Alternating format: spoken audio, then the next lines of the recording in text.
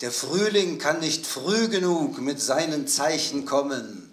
Ich habe heute den Kranich-Ruf vom Himmel her vernommen.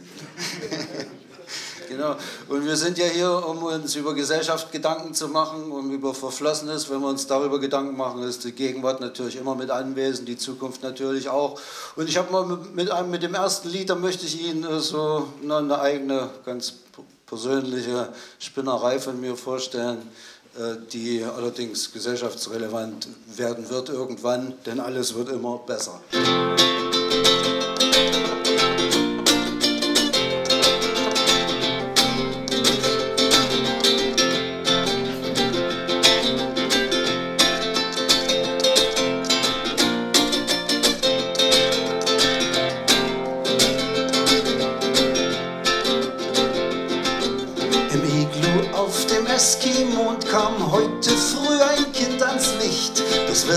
Angemeldet, weil keiner dort die Akten füllt, sobald sich wer ins Leben brüllt. Die Ordner wurden kurzerhand im letzten Winter angebrannt.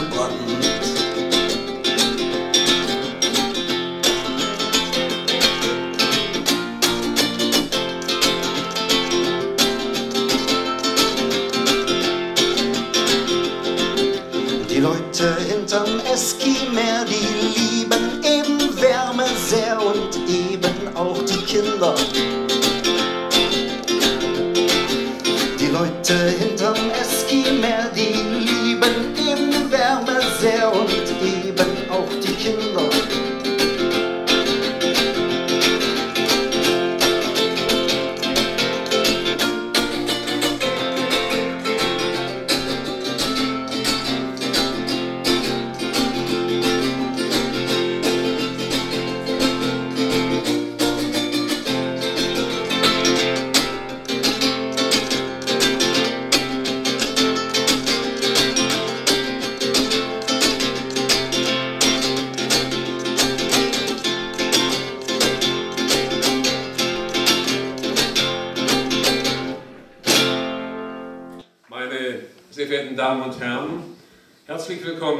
dieser ersten Veranstaltung im neuen Jahr, die wir heute mit der Konrad-Adenauer-Stiftung hier Ihnen vorstellen, der DDR-Staat und äh, Situationen äh, zu dieser Wanderausstellung Mythos und Wirklichkeit, wie die SSD-Diktatur den Alltag der Bürger bestimmte. Dazu werden anschließend äh, noch Aussagen gemacht, meine Damen und Herren als wir uns vorhin auf die Veranstaltung vorbereitet haben, da äh, wurde ich angesprochen von einer Dame aus dem Publikum, äh, die äh, sprach mich an und sagte, sind Sie der Bürgerrechtler, ehemaliger Bürgerrechtler? Ich sagte, ja, und Ihre Frau? Ich sagte, Freier Klier, ach, das ist mir jetzt nicht eingefallen. Ja, Sie machen so viel über Geschichte. Ne?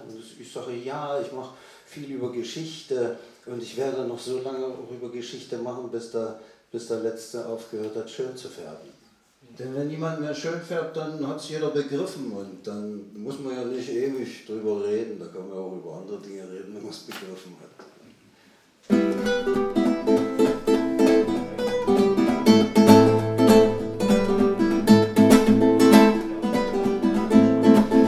Das ist nie gewesen, das war niemals wahr.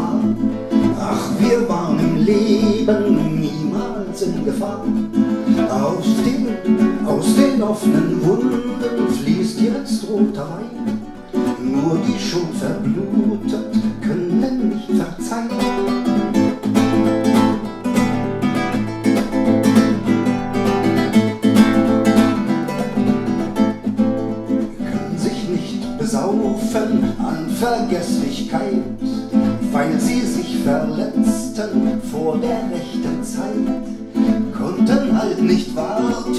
Ach du, das ist dumm. Was uns jetzt gesund macht, bracht uns gestern um.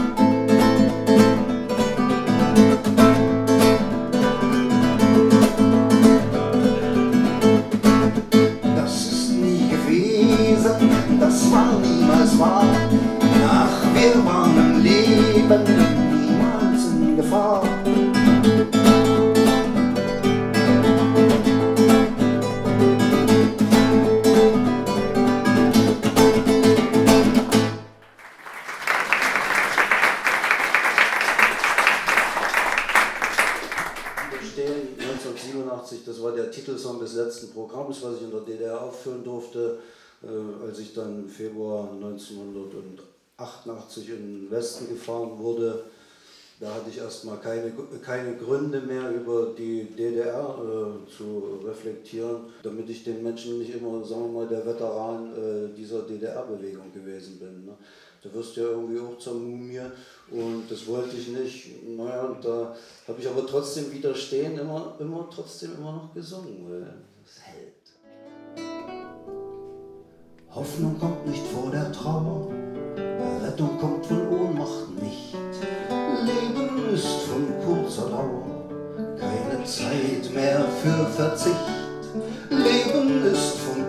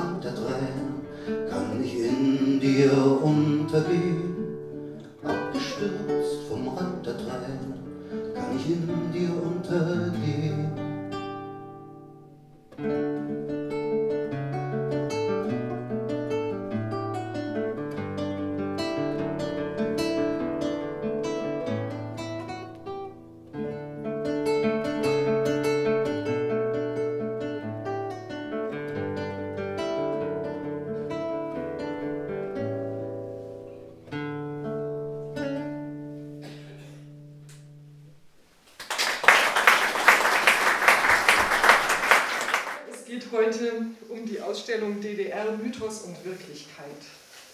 Ein Mythos, ein Mythos ist eigentlich eine archetypische Erzählung aus längst vergangener Zeit. Ich habe gerade die letzten Tage mit äh, Menschen aus der politischen Bildung getagt und eine Mutter äh, einer Fünfjährigen erzählte, äh, als sie neulich aus ihrer Schulzeit berichtet habe, hat die Tochter sie gefragt, sag mal Mama, haben da die Dinos noch gelebt? Und ich glaube, das sagt etwas über das Verhältnis von Kindern zur Zeit und äh, von den Schwierigkeiten, ähm, in die Vergangenheit zurückzugehen, die vor der Zeit unserer Kinder liegt. Und ich glaube, diese Ausstellung äh, ist geeignet, hier ein paar Tiefenbohrungen anzusetzen äh, und zu schauen, wo, lang, wo entlang man Fragen stellen kann und wo man vielleicht Neugier auch wecken kann.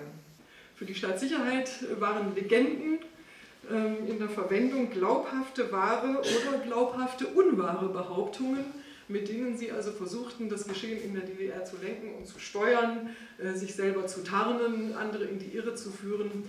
Also Legenden haben eine vielfältige Funktion.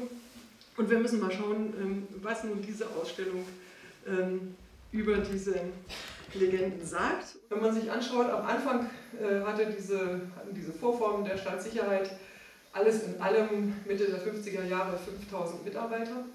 So viele hat heute der Bundesnachrichtendienst für die ganze Bundesrepublik Deutschland. Und ähm, am Ende waren es fast 100.000 Mitarbeiter und noch einmal so viele inoffizielle Mitarbeiter, die Spitze.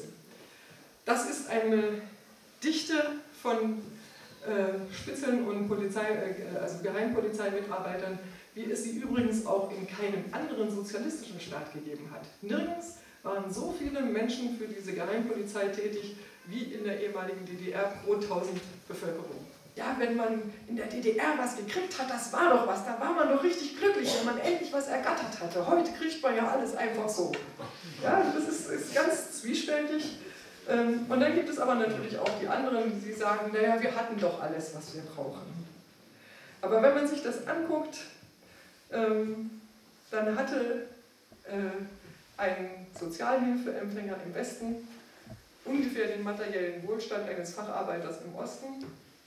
Und ähm, das wollen ihm viele nicht wahrhaben. Das ist eine der großen Frustrationen, die es nach 1990 gegeben hat, diese Erkenntnis, dass tatsächlich die DDR pleite war. Es gab zwar auch in der DDR damals schon Informationen, aber die waren natürlich streng geheim. Ein Bericht äh, vom Herbst 1988 spricht davon, dass also schon 1982 die DDR eigentlich zahlungsunfähig war und sich nur dank der Kredite aus dem Westen überhaupt halten konnte und ähm, im Grunde genommen eine Absenkung dieses DDR-Lebensniveaus, äh, wie ich es eben beschrieben habe, ähm, um mindestens ein Drittel nötig gewesen wäre, um überhaupt als Staat weiter existieren zu können. Ein ebenfalls oft, gerade heute in den aktuellen Diskussionen, eine Rolle spielender Mythos ist der vom Bildungssystem der DDR. Das tolle Bildungssystem. Bis zur 10. Klasse alle gemeinsam an einer einheitlichen, landesweit einheitlichen polytechnischen Oberschule. Äh, und dann gibt es ein paar, die dürfen dann Abitur machen und studieren. Das Ergebnis, liebe Leute, war 10% der jungen Leute durften Abitur machen, heute sind es bis zu 40. Und anschließend war es mit der Studienwahl ja auch nicht so doll.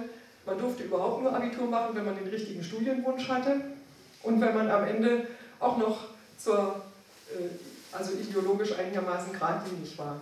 Also Mitgliedschaft in der FDJ war relativ verbreitet die Voraussetzung. Es gibt ein paar Ausnahmen, ich gehöre dazu. Deswegen muss ich da etwas zögern an der Stelle. Das hatte aber politisch-operative Gründe. Ähm, jedenfalls, also die Frage äh, Ideologie war ganz äh, vorne dran. Es gab eine Kommission, die hat entschieden über die Aufnahme in die EOS. Die bestand aus dem Beauftragten des Wehrbereichskommandos. Also die Frage zukünftig NVA oder nicht und wie lange zur NVA spielte eine große Rolle für die Jungs. Dazu gehörte der Kreissekretär der FDJ, dazu gehörte der Direktor der aufnehmenden EOS und jemand vom Kreisschulrat. Höre niemand von der Schule, aus der der Schüler kam und schon gar niemand, der nicht in der Partei war. FDJ war in der Partei, NVA war in der Partei, SED-Kreisleitung sowieso, ähm, also und der, Stadt, äh, und der äh, Kreisschulrat auch. Ähm, also das war wieder eine reine Parteientscheidung äh, und sie wurde gefällt aufgrund der Beurteilung der Schule, äh, wo also diese ideologische Frage eine hervorragende Rolle spielte. Und im Zweifel wurde auch noch eine Beurteilung der Staatssicherheit dazu geholt. Dieser antifaschistische Mythos gehört, glaube ich, zu dem, was am allerstärksten fortwirkt aus der DDR. Die DDR war das bessere Deutschland, weil sie doch so antifaschistisch war. Es stimmt eben einfach nicht. Die SED hat Nazis aufgenommen. Die SED hat die NDPD gegründet, die Nationaldemokratische Partei Deutschlands, die extra dafür da war, ehemalige kleinere Nazi-Funktionäre aufzunehmen und gleichzuschalten. Und sie waren dann auch in der Regel sehr dankbar dafür und haben kräftig am Aufbau des Sozialismus mitgewirkt, was immer das in der Ideologie dann gerade hieß, weil sie durch die Mitgliedschaft in dieser Partei automatisch äh, entnazifiziert galten und eben äh, als unschuldig galten im Sinne dieser Gesetze. Das war die Partei der Wendehälse. Und natürlich haben die Leute das beobachtet. Die Leute sind ja nicht doof, die haben das gesehen. Der ehemalige Nazi-Funktionär ist jetzt also plötzlich bei der SED oder bei der NWPD und ist wieder ganz vorne dran. Und dadurch war dieser ganze Antifaschismus im Untergrund von vornherein unglaubwürdig. Hat, er ist nie wirklich angekommen. Und trotzdem sind das natürlich hatte das natürlich auch eine hohe Plausibilität. Denn nach dem Nationalsozialismus, nachdem diese Verbrechen bekannt wurden, konnte man ja nur antinationalsozialistisch sein. Ähm, und dadurch war die SED immer wieder in der Lage, doch auch viele Leute einzufangen.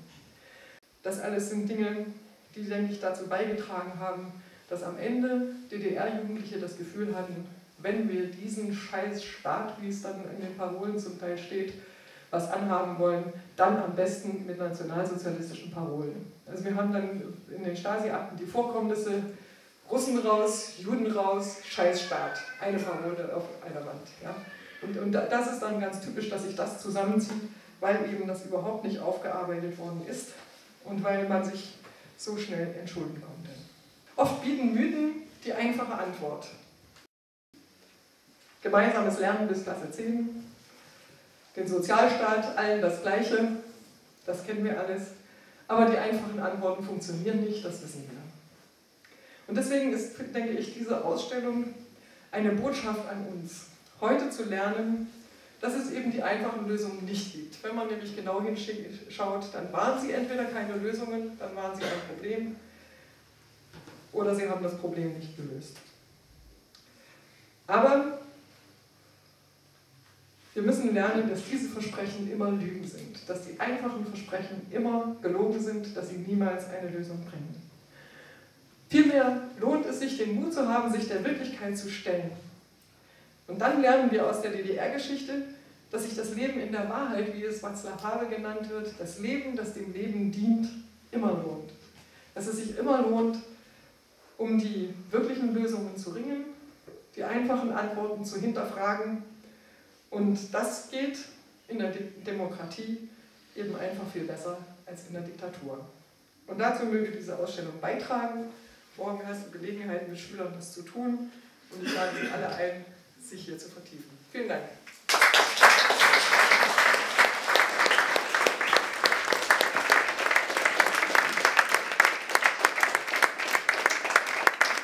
Selten hat es eine Rednerin vermocht, mich über eine so lange Zeit so zu fesseln. Was für eine flammende Prosa. Ich möchte nahtlos mit ein paar Versen anschließen. Au Partei, du Druckverband auf den offenen Wunden. Unter dir wird's Vaterland auch weiterhin gesunden. Nur die frische Blutzufuhr, die hast du unterbrochen. Mit der Zeit hat jeder Mull nur übel noch gerochen. Dass deine Organe doch und trotzdem funktionieren, ist ein Wunder der Natur, die müsste glatt krepieren.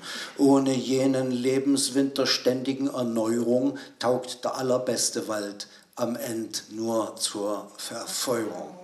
Oder meine Mutter, die, da kam die Stasi auf die Post, sie war Briefträgerin in Weida und da sagte die Chefin, Frau Kraftschick, kommen Sie mal bitte rein. Da sagt sie, das, das ist mir ja was früh, ja, wo geht es darum, als Erste rauszukommen aus dem Postamt. Ne? Und, und dann äh, saß bei der Chefin, saß einer, der hat sie gebeten, Briefe an bestimmte Leute auszusortieren. Und da sagt meine Mutter, ich bin Briefträgerin und keine Hafennutte. Und dann habe ich gefragt, na und was hat er dann gesagt? Da sagt sie, na denkst du, das habe ich mir noch angehört, um die Zeit war ich sonst schon immer auf der Gerauer Straße. Also es hängt wirklich davon ab, wie weit sich ein Mensch äh, mit seiner eigenen inneren, äh, wackeren und äh, gesitteten Haltung eben durchgesetzt hat. Es gab viele Fälle, wo man ohne große Folgen äh, Nein sagen konnte.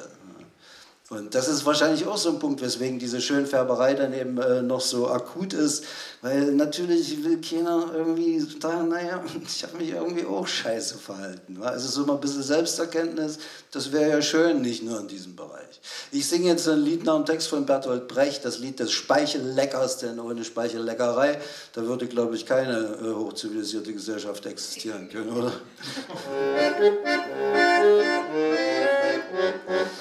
Meine Seele kommt in Aufruhr, alles in mir revoltiert, wenn ich einen Menschen sehe, der mit Recht von jedermann gemieden wird. Er hat es sich selber zuzuschreiben, dass er nicht mehr da ist für die Stadt. Soll ich mit ihm auf Grußfuß bleiben, den die Obrigkeit gezeichnet hat? Nein, das ist mir nicht möglich. Nein, das ist mir nicht möglich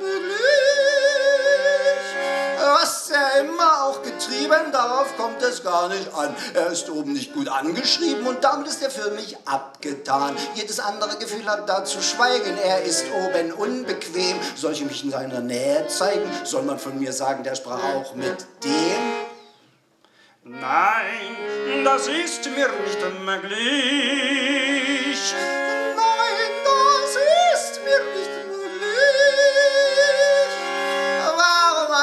Sich's verdorben, hätte er besser aufgepasst. Solch ein schlechter Ruf ist rasch erworben und dann ist man eben oben dann verhasst. Nein, meine guten Herren, beleidigt, wer ihm frech die Stirne bot, soll man von mir sagen, ich hab den verteidigt?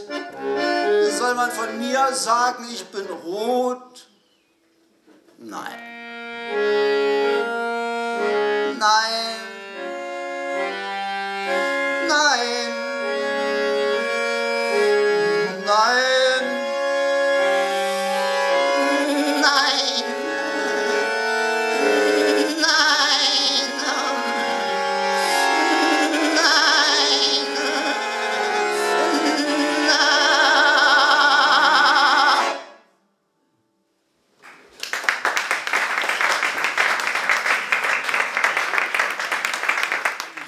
uns um Wahrhaftigkeit bemühen, dann haben wir und die nächste Generation im, im, Auge, die, die nach uns kommt. Denn für die wollen wir ja diese Zeit aufarbeiten, die geschehen ist, damit sie nicht wieder dieselben Fehler machen. Also das sollten wir viel ernster nehmen und und gerade was äh, diese Informationen äh, über die Wesensheiten angeht, die müssen besonders positioniert werden, sonst gehen die einfach in diesem ganz großen Schwall unter.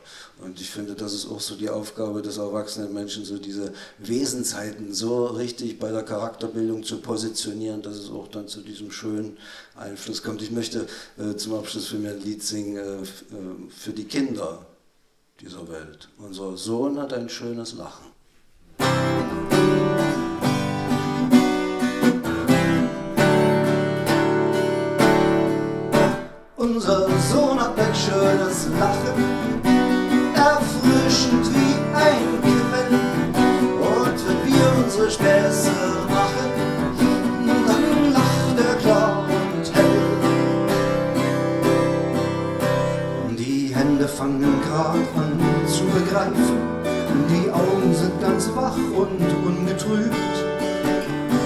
Unmissverständlich gibt er seine Zeichen dass Freude tief in seinem Herzen liegt.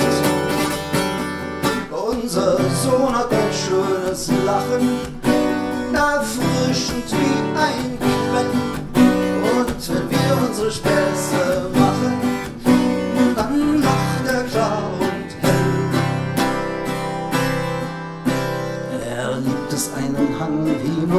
zu rollen und sitzt schon fast alleine, wenn er will er schöpft noch aus dem Ganzen, aus dem Vollen und wird an Mamas Brüsten still. Unser Sohn hat ein schönes Lachen, erfrischend wie ein Quell. Und wenn wir unsere Späße machen,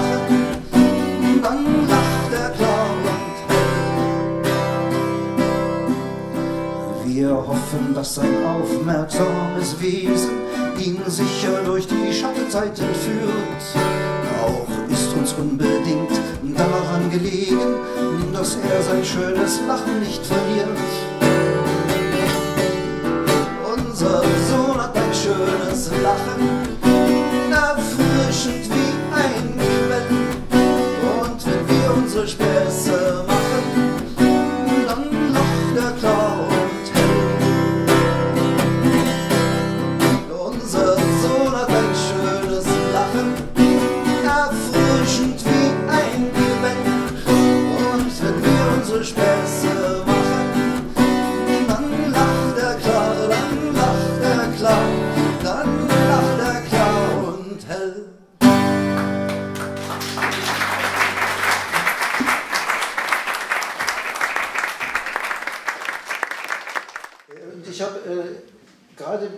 Sprache geht, also dass man was erzählt, ne, wie Sie sagen. Ne? Ich meine, da muss man natürlich das Erzählen noch ein bisschen pflegen. Also wenn man heute die Sprache, ich finde die Sprache verarmt zu sehr. Wir gewöhnen uns die Adjektive ab und wenn du kommst aus dem Kino, wirst du gefragt, wie war es cool. Da bleiben keine Fragen mehr offen. Ne? hätte er selber den Eintritt bezahlt, würde soll ich das jetzt auch noch erzählen. Ne?